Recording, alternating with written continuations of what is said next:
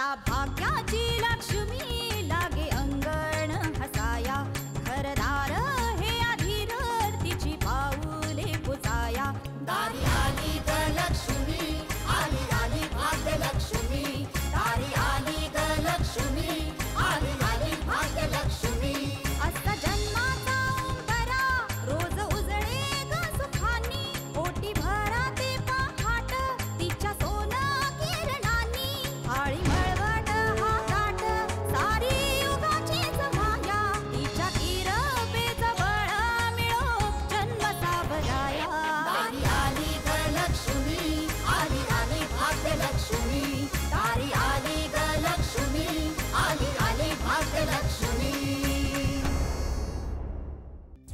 बबली माझ्यावर विश्वास ठेव?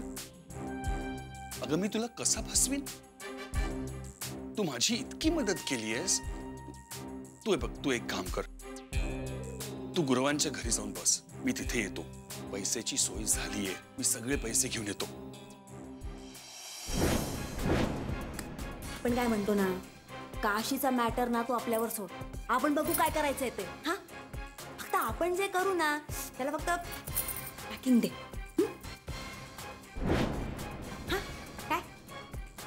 मामला आता कसं आपण काय करतो आता? काशी सारखे केस बनवतो. आणि आपल्या पहिल्या गिराईक त्या टोपीला बनवतो. तो जर का आपल्या छाच्यात आला ना तर बबली समज जा. आ दुनिया तेरे मुट्ठी में. केस बनतो या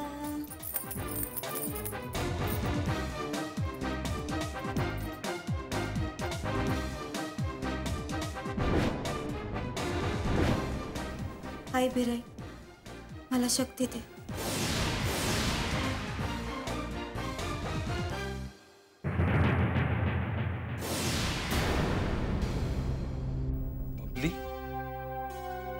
भाऊ काका?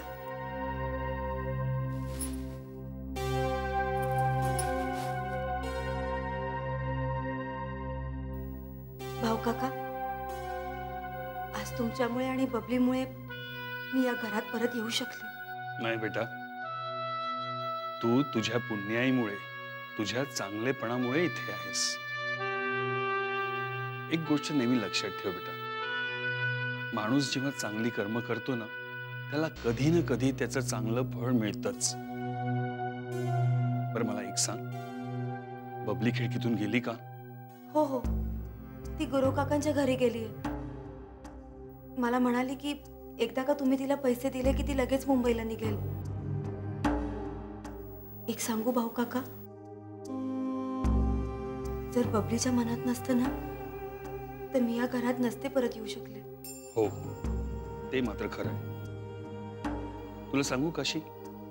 बबली खोडसळ आहे थोडीशी द्वाड आहे पण ती मनाने खूप चांगली आहे. हो. तुम्हालाही असं वाटतं ना? मग ठीक आहे. तुला माहितीये मला असं वाटतं की परिस्थितीमुळे ती अशी झाली असावी. पण मुळात ती वाईट नाहीये. बरं हे बघ. आता हा विषय कायमचा बंद. भिंतीलाही कान असतात. आणि कोणी जर आपलं बोलणं ऐकलं ना तर पंचायत व्हायची. आता आजपासून तू तुझ्या घराचा ताबा घ्यायचा. भाऊ काका तुमच्या रूपाने देव आज माझ्यासमोर आला. मला पुन्हा माझ्या संसाराला लागण्यासाठी आशीर्वाद द्या. अगं वेडी माझे आशीर्वाद तुझ्या आणि संजयच्या पाठीशी सदैव आहेत. तुझं नेहमी भलंच होणार आहे. बरं हे बघ मी जाऊन येतो. मला बबलीला भेटायला हवं. हं?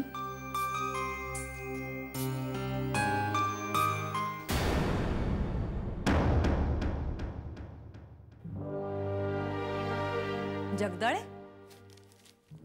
नमस्कार कामिनीबाई. नमस्कार. असं अचानक कसं येणं केलं? अचानक बोलावणं हे आलं. काल रात्रीच भाऊंचा फोन आला होता. संजय रावने अर्जंट बोलावलंय म्हणून सांगितलं. हो का? बसा ना.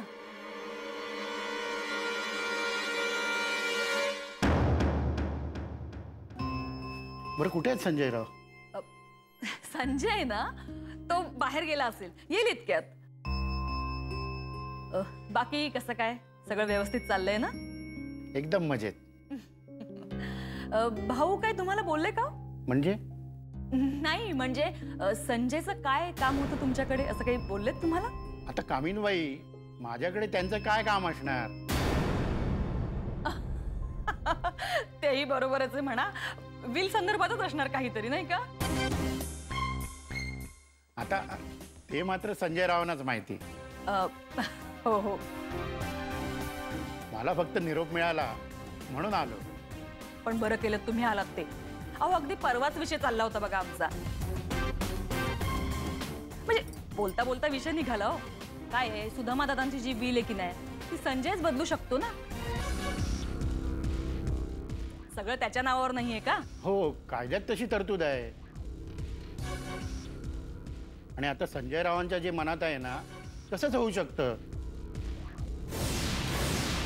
आणि आता त्यांच्या मनात नक्की काय आहे ते त्यांनाच माहिती.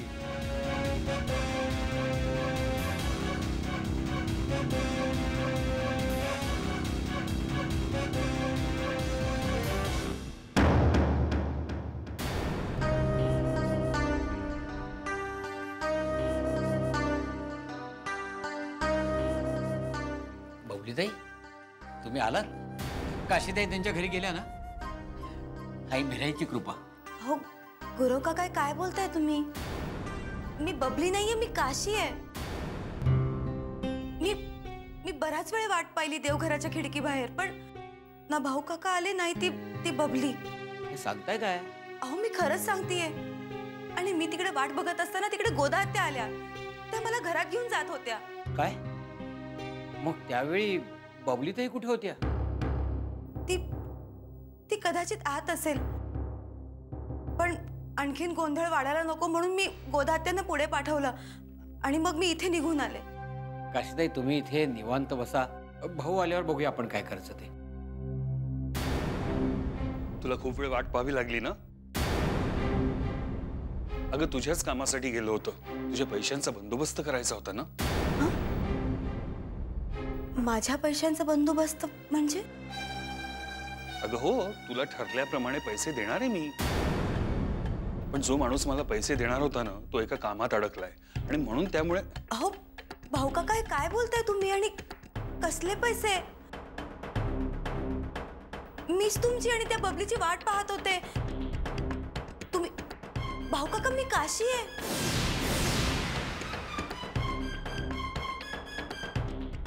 काय?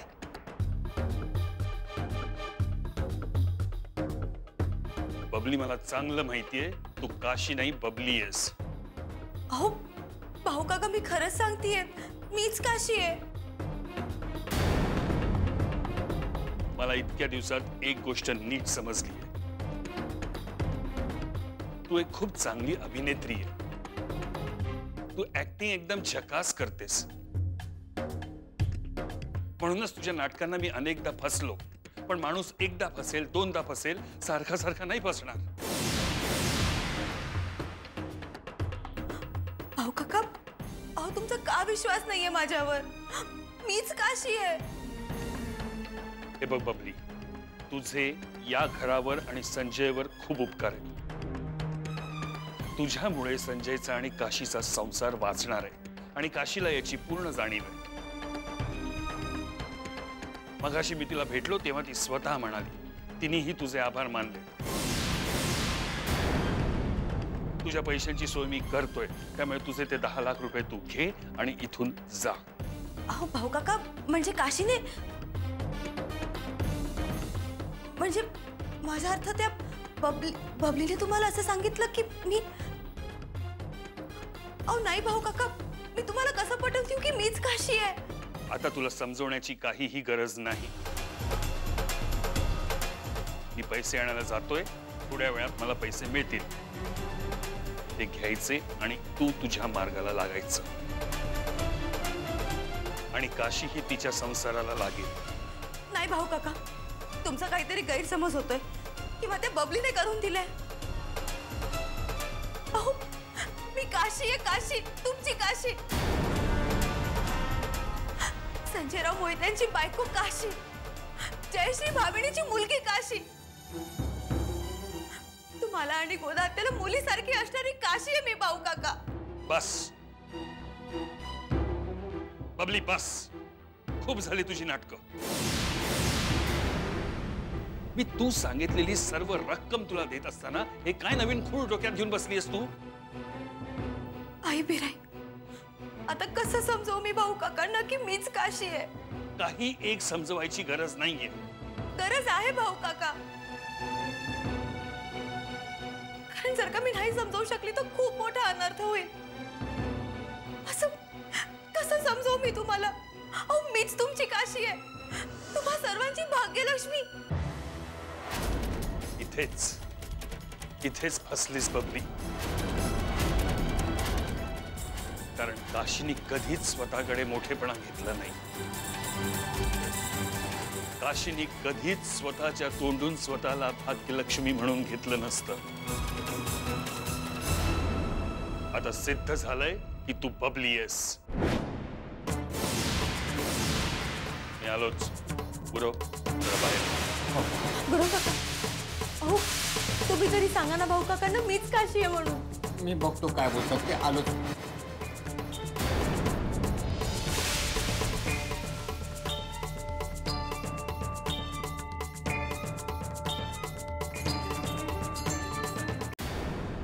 संजयने जगदाळे वकिलांना बोलवण्यामागचं एकच हेतू असू शकतो. तो म्हणजे त्या व्हील मधले फेरबदल. पण असं अचानक त्यांना बोलवणं म्हणजे संजयच्या डोक्यात नक्की काय चाललंय?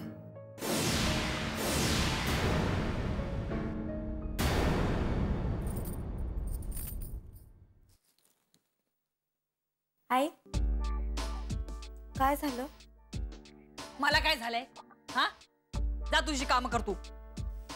नाही तो तुमचा चेहरा इतका उतरला होता म्हणून वाटलं तुम्हाला विचारावं. तुला बरं सगळं कळतं. कोणाचा चेहरा पडलाय कोणाचा उतरलाय हा? अगं हे सगळं ना तुझ्यामुळे झालंय. कळलं ना तुझ्यामुळे? या घरात सगळ्यांचे चेहरे चुटकी झाले ना ते तुझ्यामुळे. या घरात सगळे खेळ खेळतेस ना मला काही कळत नाहीये. त्या दिवशी तूच मला मारलंस? सूर्याला सुद्धा चोराने नाही तू मारलंयस? कुठून येते ग एवढी ताकद? कुठून येते सांग? बोल ना. आई. मी मी मी खरंच काय नाही केलं. खरं काय खोटं काय तुला लवकरच कळेल. घोडा मैदान लांब नाहीये. एकदा का संजय आणि चित्राचं लग्न झालं ना की तुला समजेल कामिनी काय करते ते. आता काय अशीच उभी राहणार आहेस? हा? समाधी घेणार आहेस का इकडे? चल जा. जगदाळे वकील आलेत ना त्यांना चहा पाणी दे. ते ते तर केव्हाच आले? म्हणजे? तुला माहीत होतं ते येणार आहेत? हो. यांनीच तर बोलवलं होतं त्यांना. हे आता चित्राला आणायला गेलेत पण यांचाच पत्ता नाहीये. मला तर असं वाटतं की ते चित्राशी लग्न करूनच परत येतील लग्नाचं एक वेळ ठीक आहे हो. पण पण असं अचानक त्या वकिलांना बोलवण्याची काय गरज आहे? पण यांचा स्वभाव असा आहे ना की एकदा मनात काय आलं की ते करूनच राहतात. पुढच्या मागच्या परिणामाचा काही विचारही करत नाही ते. काय होणार आहे या घराचं काही खरं नाही. माझी आई भिराईकडे फक्त एवढीच प्रार्थना आहे. हे जे काय निर्णय घेतील ना त्याने फक्त सगळ्यांचं भलं होऊ दे.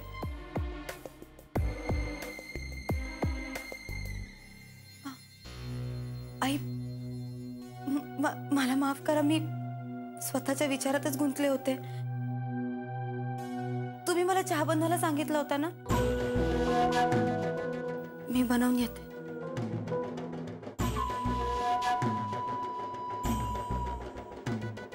संजयच्या मनात एखादी गोष्ट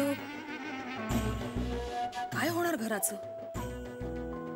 सगळ्यांचं भलं होऊ दे रे बाबा. काय बडबडत होती ही? संजयने काय भरलंय स्वतःच्या डोक्यात देव जाणे. पण तो काय करणार हे काशीला तर नक्कीच ठाऊक असणार. हम्म. तिलाच विचारायला हवं.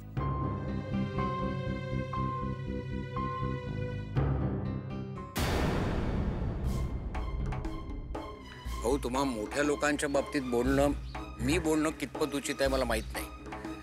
पण काशीताईंच्या बद्दल आहे म्हणून मला बोलल्याशिवाय राहत नाही. बोला गुरव निसंकोचपणे बोला. हो आता आत काशीताई जे काही बोलल्या ते तुम्हाला का खरं वाटत नाही याचंच मला आश्चर्य वाटतंय. मला तर त्यांच्या डोळ्यात खरेपणा दिसत होता. गुरव तुम्ही खूप भोळे आहात. म्हणून तुम्हाला तिच्या डोळ्यातल्या पाण्यात काशीची प्रतिमा दिसली. पण ते फक्त पाणी होतं. नाटकी पाणी. काशी असती तर तिच्या डोळ्यात अश्रू असते. तरी पण मला वाटतं भाऊ अहो तुम्ही नका वाईट वाटून घेऊ. मी चांगलं ओळखतो त्या बळेला. बारा घाटचं पाणी प्यायलेली आहे ती. लोकांना हातोहात फसवण्यात पटाईतही बबली. आणि स्वतःचा स्वार्थ असल्याशिवाय कुठलंही काम करत नाही. खरं तर मलाही आश्चर्य वाटतंय. ही अचानक फिरली कशी? तेच तर म्हणतोय मी भाऊ. कालपर्यंत ही बबली काशीताईंच्या जागेवर काम करायला कंटाळली होती. मग आज अचानक ती कशी काय फिरली? भाऊ माझं मन सांगतंय की आत आहेत त्या काशीताईच असणार. भाऊ, पुढे जाऊन उगाच काहीतरी गडबड व्हायला नको. अहो, काहीही होणार नाही. तुम्ही काळजी करू नका. अहो, तुम्हाला तिची काळजी वाटणं स्वाभाविक आहे. आपली काशी आहेच तशी. कुणीही जीव लावावा. आणि गुरव म्हणूनच मला अतिशय सावध राहावं लागतं. भावनांवर नियंत्रण ठेवावं लागतं. कारण भावनेच्या आहारी जाऊन जर मी एक चुकीचा निर्णय घेतला तर आपल्या काशीचं आयुष्य अंधकारमय होऊ शकतं. याची पूर्ण जाणीव आहे मला. भाऊ तुम्ही म्हणताय तसंही असेल कदाचित. पण मग ही बबली अशी खोटं का बोलेल? पैसा गुरव पैसा. हा पैसा भल्या भल्यांची नियत फिरवतो. आपण बघितलंय ते. मग या बबलीची काय कथा. तिने रात्री शांतपणे विचार केला असेल. आता या इथल्या सगळ्या ऐशो आरामाची या ऐश्वर्याची भुरळ पडली आहे तिला. आणखीन काय?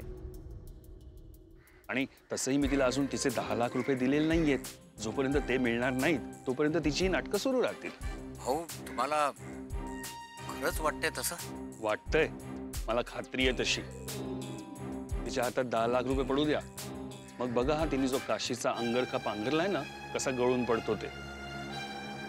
त्यावेळेस गुरव तुम्हाला एका कटू सत्याची प्रचिती येईल. भाऊ मला तर काहीच समजेन असं झालंय. आई भिराईच्या कृपेने तुम्ही म्हणताय तसंच हो अहो अगदी तसंच होणार. आता तुम्ही फक्त एक काम करा. तिच्यावरती बारीक लक्ष ठेवा. कारण मला जर पैसे आणायला उशीर झाला तर हिने वाड्यावरती जाऊन तमाशे नको करायला. कारण या बबलीनी मला तशी धमकी दिली होती. आणि तसंच काही वाटलं तर मला लगेच फ़ोन करा. येतो मी.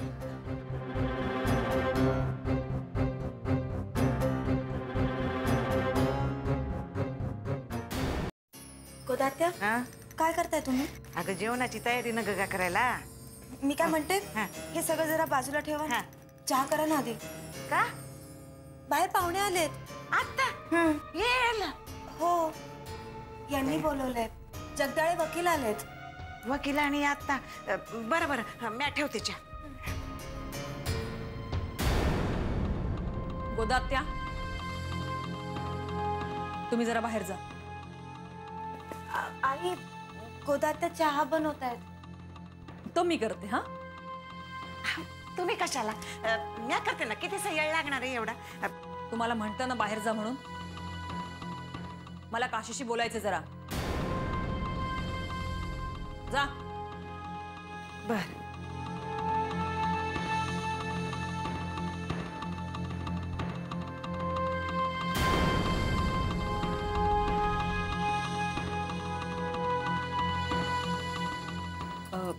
काशी? मगाशी काय म्हणत होतेस ग? मगाशी? काय म्हणत होते मी? तेच संजय काहीतरी रात्री म्हणत होता म्हणे. म्हणजे कशा संदर्भात म्हणत होता काय? हा. ते हे म्हणत होते की यांना वकिलांबरोबर काही काम आहे म्हणून. बरं आई मी काय म्हणते? ते कधीपासून बाहेर येऊन बसलेत. त्यांना चहा लवकर द्यायला हवा ना? मी करते ना चहा.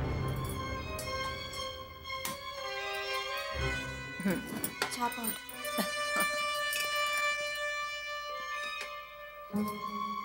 मी काय म्हणते? असं अचानक वकिलांना बोलवण्याचं काय कारण ग? हो बघा नाही. मलाही काही कळत नाहीये. मी यांना विचारलं तर हे सांगत होते की आता यांचं चित्रासोबत लग्न होणार आहे. तर चित्रा यांची दुसरी बायको झाली. तर तिच्या भविष्याचा विचार नको का करायला? असं काहीतरी ते बोलत होते. हो का? हो. असं असं म्हणाला का संजय? हा हा. आई आलं देऊ का तुम्हाला? का? का म्हणजे? चव येईल ना चहाला? हो, हो आई आई येते. मी. संजयने काय चालवले कळत नाही. त्याचा काहीतरी बंदोबस्त करायलाच हवा.